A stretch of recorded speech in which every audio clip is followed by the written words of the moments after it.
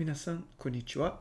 これはプログラミングチャレンジ第4回、動的プログラミング第1部、動的プログラミングとは、です。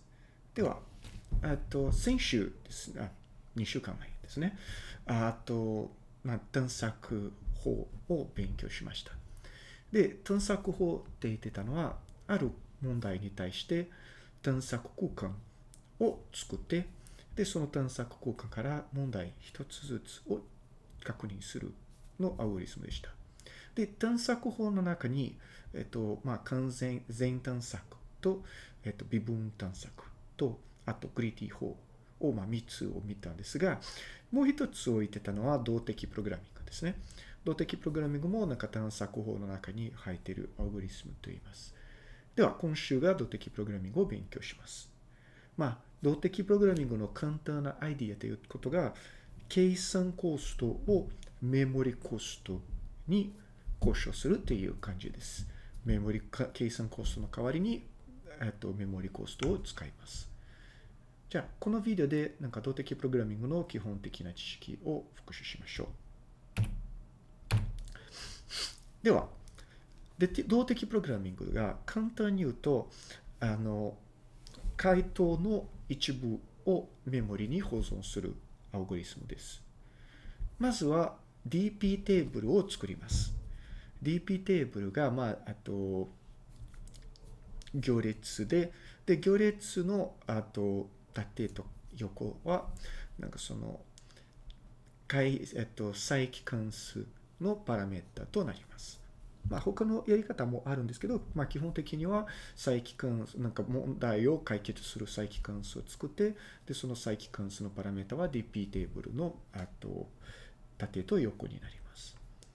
で、まあ、DP テーブルがあると、なんか、初期状態を DP テーブルに入れて、で、次は、その前の、前話した再帰関数、あるいはループを使って、DP テーブルの残りを記入して、で、ディップテーブルが記入し終わったら、まあ、回答が見つかります。いつ、どんな時にね、なんか、DP テーブ、DP、えっと、DP はいつ使うかって考えると、競技プログラミングの時ですと、最適化が必要問題、あるいは、カウンティングが、数えるが必要問題の時だと、まあ、DP テーブルの匂いがする問題と言います。ですね。あの問題の文章を考えると、あの、なんか、ソリューションの数を数えてください。例えば、この、この問題を回答するソリューションの数を数えてくださいの文章が書いているときとか、ミニマルコストを見つけてくださいとか、マクシムレインフ数を見つけてくださいとか、そういうふうな文章が出ると、まあ、これ DP かなってまず考え、考えられます。ですね。で、えっ、と、DP の、えっ、と、計算コストはどれぐらいかというと、DP のいいところが、ほとんどの場合だと、なんか計算コストすごい計算しやすい。基本的に DP の計算コストが DP テーブルのサイズと同じです。まあ、もちろん DP テーブルのサイズの1コマを、えっと、処理する時間も数えないといけないんですけどですね。ですので、えっと、まあ、それは DP テーブルの計算コストになりますので、DP、DP 法を考えると、これは時間時間内で取れるかどうかを想定することができます。最後は、なんか DP テーブルはもう少し論理的に考えると、あの、数学のインダクションに、えっと、すごく近います。近いですね。ですので、なんか数学のインダクションが分かると、まあ、DP が分かりやすくなりますので、あのぜひそれを考えてみてください。では、多分 DP を一番説明しやすい方法が例を挙げることですので、あのこのビデオで例を2つ挙げます。一番の例がウェディングショッピング。ウェディングショッピングが、えっと、今週の問題の一つです。では、ウェディングショッピングの問題の概要というと、いくつかのアイテムを買う必要があります。だけど、予算 M の最大予算があります。ですね。で、問題の内容が、あの、アイテムのクラスは C クラスがあります。で、それぞれのクラスの中には KC のオプションが入っています。ですので、それぞれのオプションが KCI がコストがついてます。ですね。で、課題の目的は、それぞれのクラスから一つのアイテムを選択する必要があります。で、選択については、さ、コスト、なんか、えっと、合計のコストを最大化しないといけない。ただし、あの、予算の意味を超えてはいけません。ですね。で、問題の、えっと、制限を考えると、M が200以内。クラスの数、まあ、予算が200以内。クラスの数が1から20クラスが入ってます。で、それぞれのクラスについて、0から20アイテムがあります。あ、すみません。1から20アイテムまでがあります。ですね。では、まず、この問題のあと説明を見て、自分でちょっと見てください。考えてみてください。全探索した場合、この問題はどれぐらいの空間、えっと、と探索空間がありますか？では、全探索の解き方法を見てみましょう。あまず、先端策を見るまでに、まあ、ちょっとなんかその、回答の例を見てみましょう。例えば、なんかこれは、えっと、サンプル係数の一つです。C はクラスが3。で、KC が、えっと、3、2、4。なんかクラス1が3アイテム、クラス2が2アイテム、クラス4が4アイテム。で、こんな感じです。K0 が6コスト6とコスト4コストコスト8のアイテム。K1 がコスト5とコスト10のアイテム。K2 がコスト1とコスト5とコスト3とコスト5のアイテム。なんかコストが同じアイテム複数があることがあり得ます。ですね。で、予算が20であれば、答えが19ですね。なんで答えが19というと、なんかクラス0から8をコストするアイテムを選びます。次はクラス1から10をコストするアイテムを選びます。最後はクラス2から1をコストするアイテムが選びます。でも状況を考えると、この答えもありますですね。クラス0から4を選んで、クラス1から10を選んで、クラス2から5を選びます。ですね。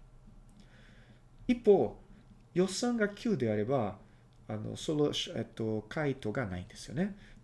あの、どれぐらい探しても、一番コストが低いのは、4を選んで、5を選んで、1を選ぶ。で、これでも10だから予算を超えてます。だからこの場合だと、ノーソリューションとなります。では、全探索で考えてみましょう。ですね。あの、一つの回答は、前のスライドで見た通りに、一つの回答は、それぞれのクラスから一つのアイテムですね。だから、すべてのクラスのすべてのアイテムの組み合わせとなる。ですね。残念だけど、グリーディ法でこの問題が解けられます。前の例で見てみてください。ですので、まず、なんか、再帰関数で全探索を見てみましょう。再帰関数がこれ、ショップ MG ですね。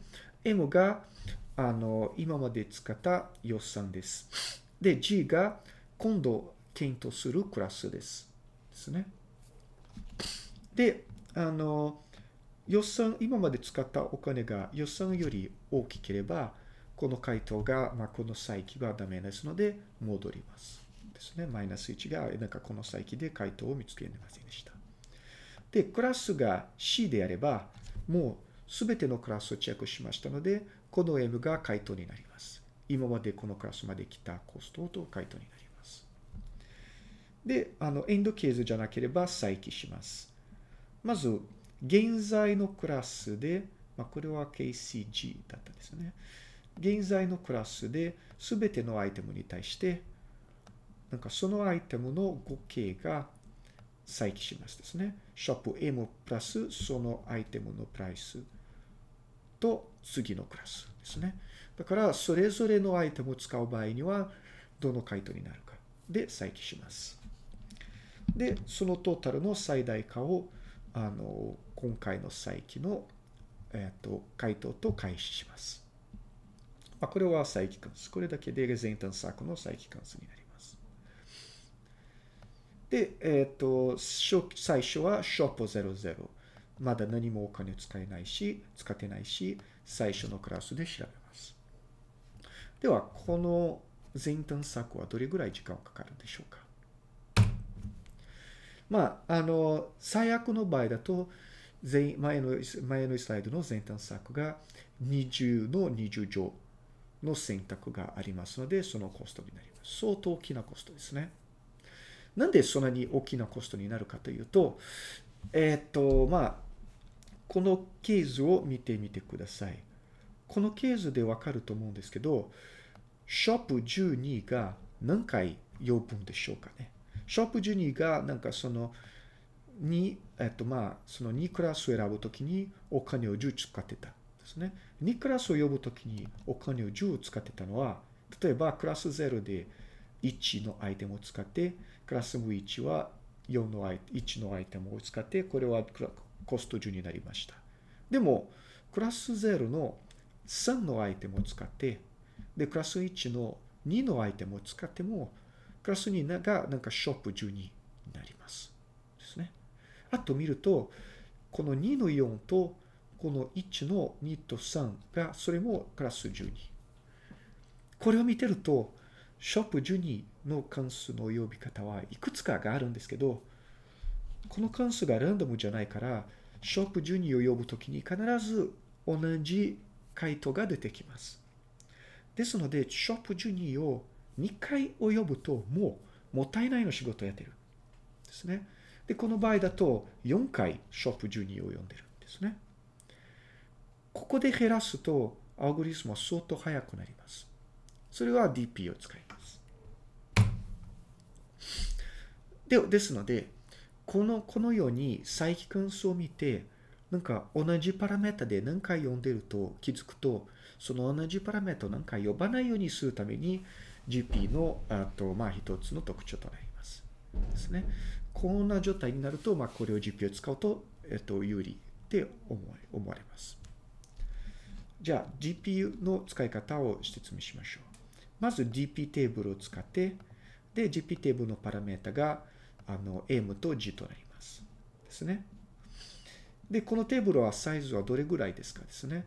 なんか、M が、えっと、予算のサイズ0から200。G がクラスのサイズ0から20。だから、あの、前端策のコストが20の20乗なんですけど、DP テーブルのサイズはなんと 200×20、4000ですね。まあ、えっと、4020ですね。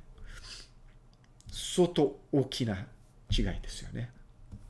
ですので、まあ、こういうふうな問題の場合だと、DP が相当速いアルゴリスムとなります。では、えっと、DP テーブルはどうやって使うか。DP テーブルの使い方は2つの考え方があります。トップダウンとボトムアップですね。トップダウンのアイディアがメモリゼーションです。あの、まあ、再帰関数を読んで、で、えっと、計算する前に TP テーブルが、なんかそのパラメータでもう回答が入っているかどうかを確認する。もう一つがボトムアップ。ボトムアップが再帰関数使わずにループで GP テーブルを書き書きます。その両方を見てみましょう。まずトップダウンですね。このスライドで前の前探索の解算、前探索の再帰関数を見てます。ショップ M 字ですね。でもその前に、まず DP テーブルを作ります。ですね。マイナス1がノーリザルト。マイナス2が no visited ですので、マイナス2であのイニシャライズします。では、end state が、まあ、この2行が同じなんですけど、この行だけは違います。計算する前にテーブルに、あと、なんか回答が書いてるかを確認する。回答で、テーブルに書いた回答があると、その回答を返すだけです。で、と計算してした場合だと、リターンをする前にテーブルをアップデートする。この2行だけで前端サークルを DP に変更しました。ですので DP がなんか、あの、まあ、僕も最初は DP はすごいわかりにくいと思ったんですが、このトップダウンの DP は結構わかりやすいですよね。再起プラスミモだけで。で、それだけでなんかアルゴリスムがすごく速くなりました。じゃあ次はボトムアップを見てみましょう。ボトムアップはもう少しなんかあと工夫が必要ですよね。ボトムアップはまずテーブルを作って、で、えっ、と、初期状況を調べないといけない、えっと、決めないといけないですね。で、えっ、と、初期状況が unprocessed でマークして、で、ループを回って、それ、すべての unprocessed ステートに対して、あの、その値を計算して、次の unprocess を計算します。ですね。なんか DP を考える、あと、ボトムアップ DP を考えると、初期 state は何ですかを考えないといけないし、あとはなんかそのプロセッシングの関数も考えないといけないですね。でもこれ終わると、なんか for ループでプログラムが終わります。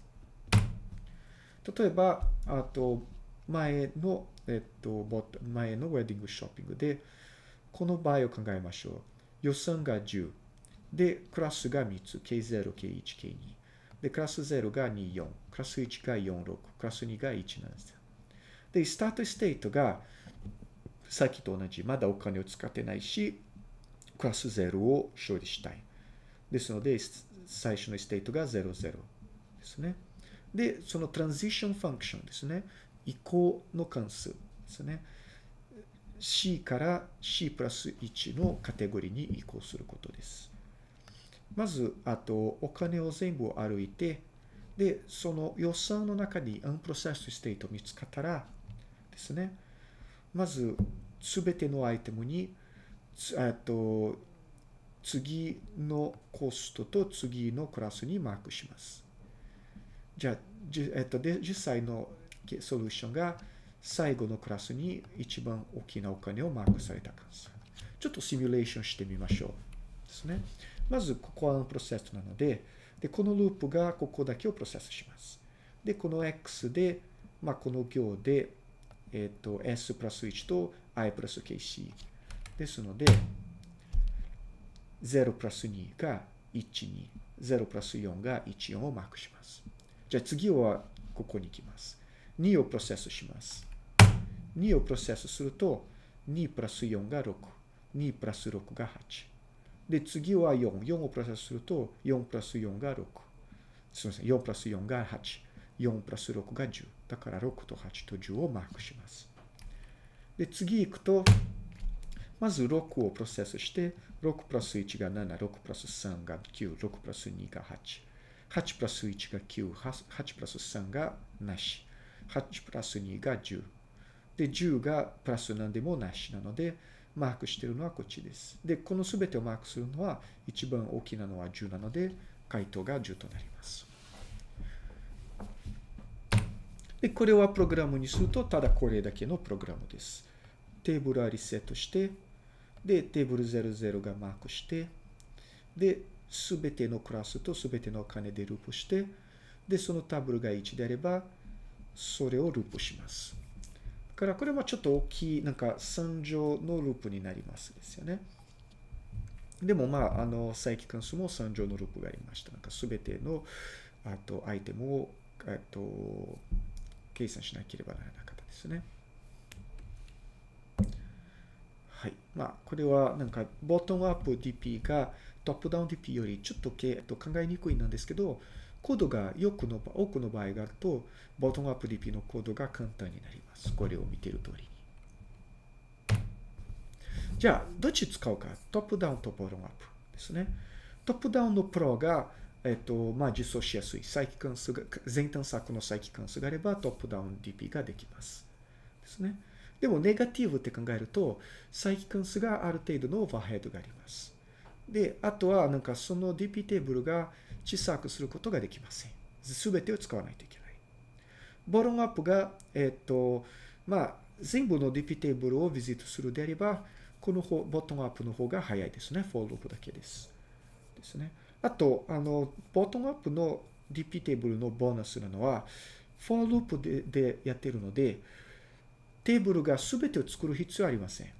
この、これを見てると、S0 が処理が終わったら S0 が必要ではないですね。S1 が処理終わったら S1 はもう必要はない。だから、このテーブルは全て作るじゃなくて、 old と new だけ2つのあのベクタで済みます。でもまあ、コードが、えっと、トップダウンよりなんかちょっと考える必要があります。ですね。あと、その DP テーブルがイスパースであれば、つまり、すべてのあとコマが記入する必要がなければ、ちょっと時間の無駄があります。じゃあ、前の、じゃあ、前のスライドが、えっと、合計の予算だけを開始しました。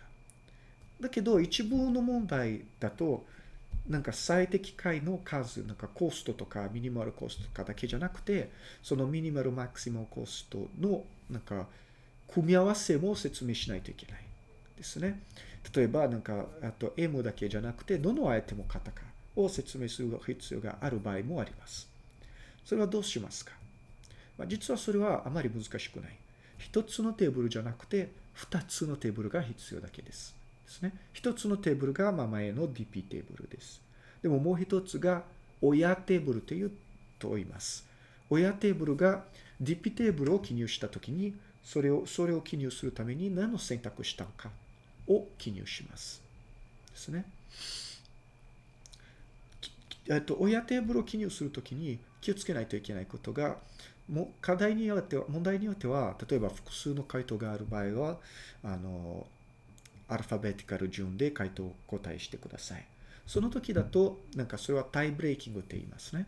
タイブレーキングを、なんか親、親テーブルを記入するときにタイブレーキングを気をつけないといけない。では、このビデオの2つ目の例を見てみましょう。この2つ目の例は親テーブルについての話をもう少しあと完全にします。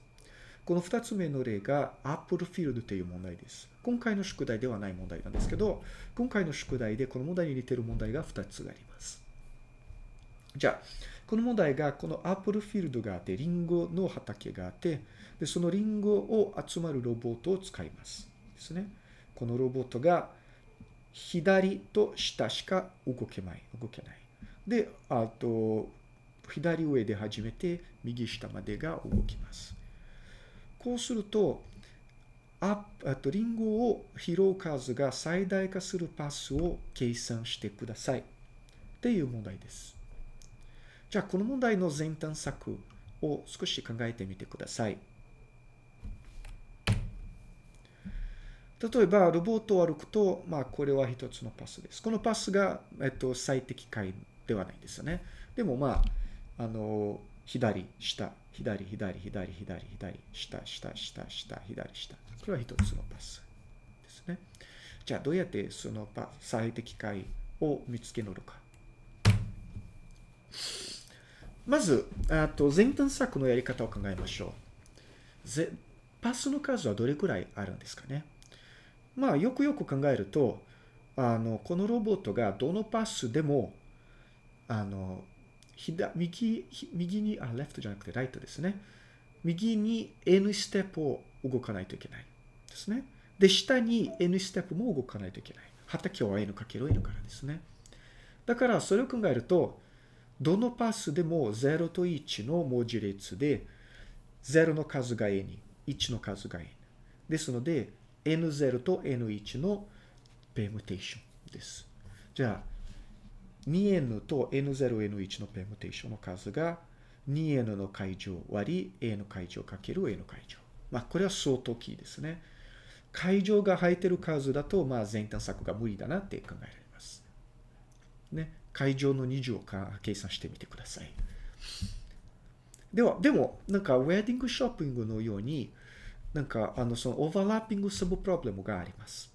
オーバーラッピングサブプロブレムが何かというと、例えば、xy から nn までの最適パス、回、パスが、00から xy までどのパスに歩いても、xy から nn までの最適パスが同じです。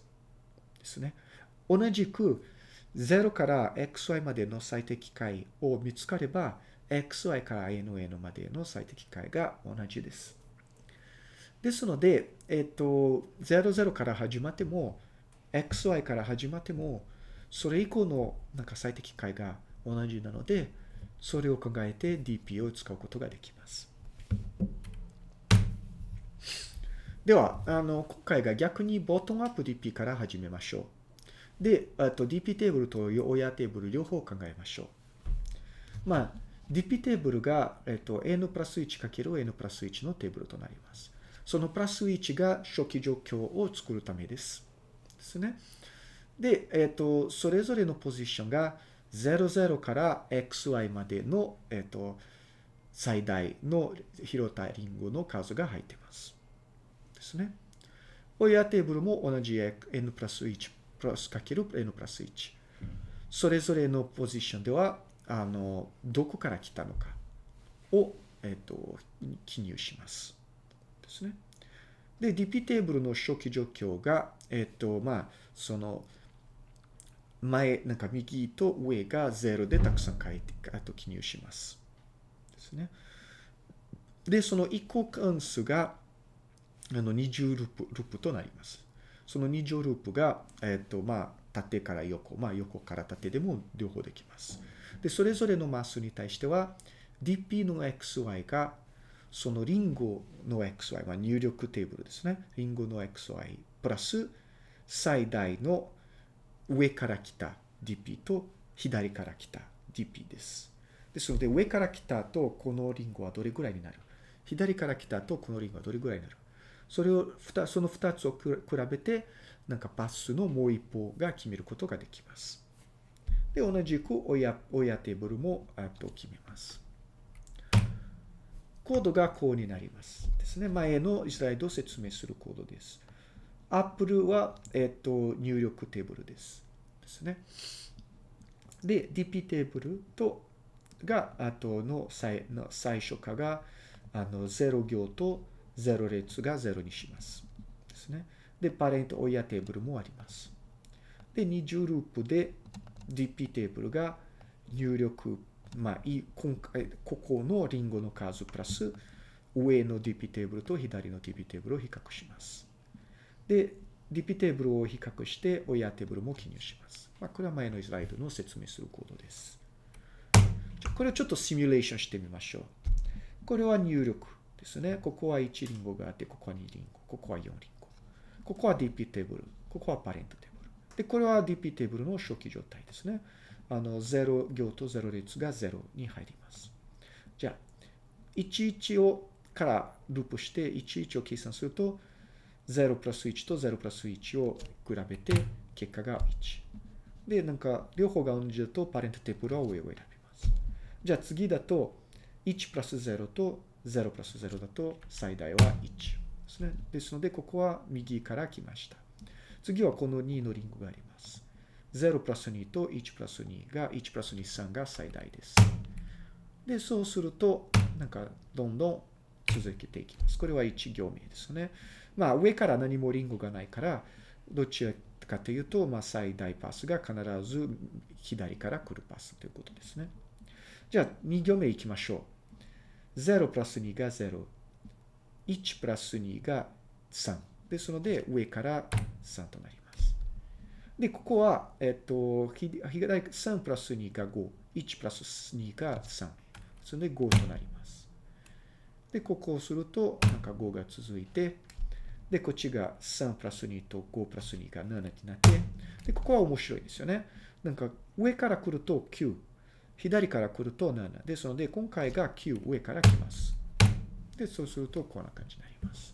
で、最後の行が同じ計算して、なんか3から上から来て、5プラス3上から来て、8を続きキープして、8プラス1、9にして、9プラス1で10ですね。で、これは9プラス0だ9、10プラス0が10。で、最後は9、えっと、13が10より大きいので上から来る。ですので、パスが上、上、ですね。これは最適解パス。まずずっと右にいて、最後は下に行くことです。はい。これはあの DP の基本的なあと考え方です。次のビデオでは、あとまあ、よくある DP の問題を紹介します。では、そこまでまた話しましょう。